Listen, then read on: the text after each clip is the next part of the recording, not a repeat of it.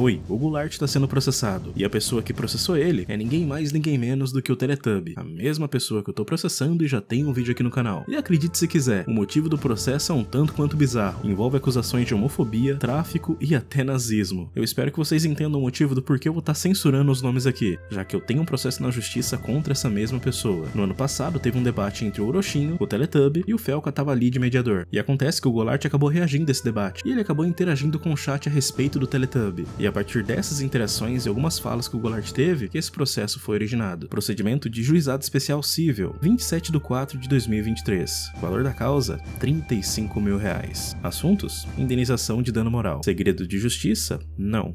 Ou seja, esse processo está público para qualquer pessoa poder ler. Gratuidade da justiça? Sim. Nas partes, Teletubby como autor, que é quem está processando, e Gabriel Goulart, que no caso seria o réu, que é quem está sendo processado. Aos juizados especiais cíveis da comarca de Linhares, Espírito Santo. Ação de reparação de dano moral em razão de publicações ofensivas em rede social. Dos fatos, o requerente, conforme consta na qualificação preambular, produz conteúdo nas redes sociais, YouTube, TikTok e Instagram, além de curiosidades, cria vídeos de opinião sobre conteúdo de outros criadores, incluindo o Requerido. O Requerido também é criador de conteúdo em diversas plataformas, incluindo a Twitch, plataforma voltada para streams, comunidade conhecida como Lives, onde possui um público de mais de um milhão de seguidores, com visualizações médias de 30 mil pessoas por live. Há cerca de um ano, após um de seus vídeos, onde criticava a simplicidade do conteúdo criado pelo youtuber Golart, como é conhecido Requerido, ser exposto pelo mesmo em seu canal, e hoje com mais de 5 milhões de inscritos, uma enxurrada de ofensas ao autor começou. Como se vê dos vídeos em anexo, ambos requeridos requerente e requerido, produziram conteúdos comentando sobre as falas de conteúdo de um outro. O autor acabou ainda mais por debater com outros youtubers, amigos de Golart, sofrendo de todos eles diversas ofensas, como se vê nas provas anexadas. Ainda assim, o requerente manteve a produção de conteúdo, ignorando as injuriosas declarações e vídeos produzidos ao seu respeito, inclusive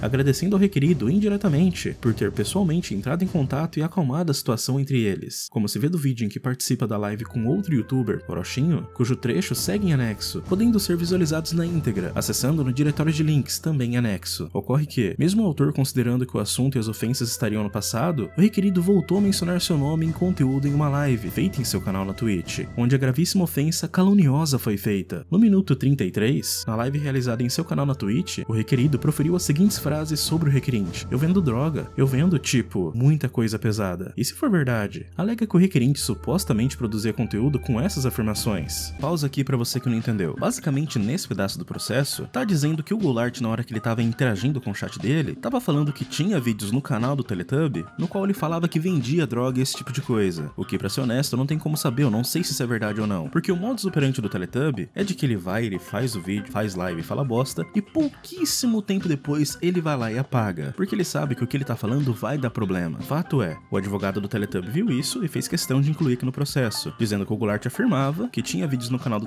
No qual ele falava que vendia droga. E a minha sincera opinião sobre isso, eu já sei muito bem quem dos dois tem a fama de ser um mentiroso. A primeira coisa que ele fez na internet foi um vídeo falando mal de mim, e eu fiz um vídeo sobre ele, e a galera foi atrás dele. Confessa que após o seu vídeo, o requerente foi assediado e ofendido pelo seu público. Pausa aqui de novo para você que não entendeu. Há muito tempo atrás, o Teletubby havia sim feito um vídeo sobre o Golart. Aí o Golart foi lá e fez um vídeo sobre ele. Só que nesse vídeo em questão, o nome do Teletubby não é citado em nenhum momento. Só que mesmo assim o pessoal foi lá e tacou hate nele. Só que ao menos na minha opinião, o motivo não foi por causa do vídeo do Golart, e sim pela postura que ele teve após esse acontecimento. Ele foi homofóbico com Luba. O requerido imputa um crime de homofobia ao autor em face do youtuber Luba no canal Luba TV. Pera aí, pausa de novo porque aqui tem um ponto muitíssimo interessante. Pra você que não sabe, existe um vídeo no passado que tá aí na internet de que supostamente o Teletubby teria sido homofóbico com Luba. E eu procurei e eu encontrei exatamente isso daqui. Eu não sei se foi por que você, que você que queria ser padre, que desistiu.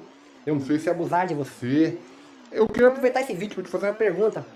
É verdade que você é, se tornou gay porque você foi abusado na igreja. Assim, eu tenho total ciência de que eu não sou a melhor pessoa do mundo para comentar sobre esse tipo de coisa. Mas você falar pra uma pessoa, ai, é verdade que você virou gay porque você foi abusado na igreja? Eu não faço ideia do porquê que ele falou isso, mas eu acho que é uma prova um tanto quanto concreta. Tanto que se você pesquisar também, tem um vídeo dele no qual ele pede desculpas ao Luba, de que ele fala que o intuito não era ser homofóbico e de que ele não era homofóbico. Mas ainda assim não tira o peso do que foi dito, ainda mais de uma atrocidade dessa. Mano, olha isso, o Teletubby, ele tinha muito muito, muito vídeo pró-nazismo no canal dele, sobre Hitler, sobre nazismo no canal dele. Requerido imputa novamente fato considerado crime ao requerente. Excelência, foi essa última fala que mais trouxe problemas ao requerente, pois sua imagem nas redes sociais foi completamente manchada, recebendo ameaças, perdendo público, diversas injúrias, além de uma imensa vergonha, por ser falsamente associado ao regime político mais cruel, criminoso e terrível da história da humanidade. Bem, de novo, pausa aqui para você que não entendeu. A questão é que existe sim um vídeo do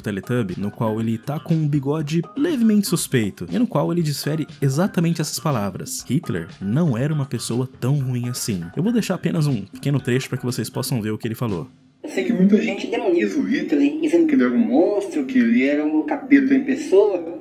Mas se você for olhar pela história, ele não era tão ruim assim, entendeu? Acontece que, pelo que eu andei pesquisando, esse vídeo ele tá sem contexto. Existe todo um contexto por trás dele do porquê o Teletubby disse essas frases. Agora, qual o contexto disso? Eu não faço a mínima ideia. É sabido por qualquer pessoa com mínimo de intelecto que o nazismo deve ser completamente condenado em nossa sociedade. E atribuir a alguém a pecha de apoiador de tamanha monstruosidade é indiscutivelmente uma tentativa sem limites de ferir a imagem, a honra e a dignidade de outro indivíduo. Ressalta-se antes de tudo que durante a live o requerente ressaltou que o autor seria estranho e produzia conteúdo pesado que não teria boas intenções na internet. Tudo isso para um público orgânico, cerca de 20 a 30 mil pessoas que assistiam aquele conteúdo na íntegra. Nota-se também que o requerido não fala em tom de brincadeira, ou mesmo de chacota, pois a intenção mesmo era de fazer crer que suas falas eram sérias e verdadeiras, sobre o caráter e idoneidade à imagem do autor. Já não bastava expor conversas privadas entre as partes ao seu público, o requerido ainda usou de sua influência para manchar com os piores adjetivos a imagem e o trabalho do requerente. Traficante, homofóbico, nazista. Essas foram as ofensas dirigidas ao autor pelo requerido em uma única live, para um público imenso, que a partir dali passou a comentar em redes sociais do requerente inúmeras ofensas, ameaças e xingamentos, não restando dúvida que, mesmo que esse efeito de ricochete não tivesse acontecido, somente a exposição de diversas inverdades ao público já seria capaz de ferir-lhe a honra, imagem, dignidade e seu íntimo das piores formas possíveis.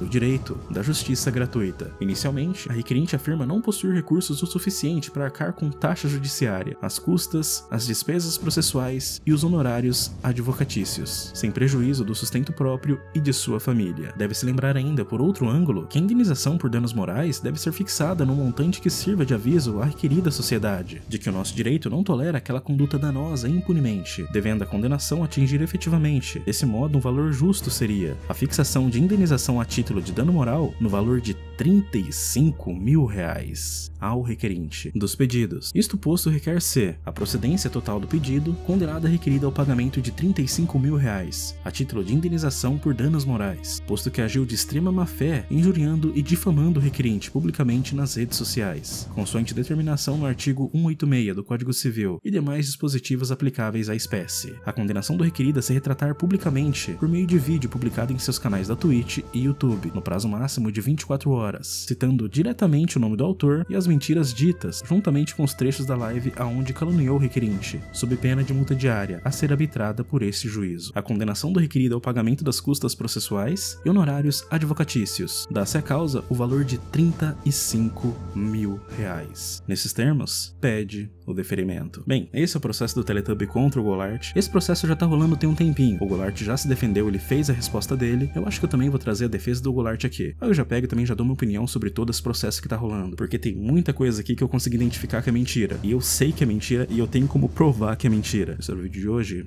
Dá o like se inscreve.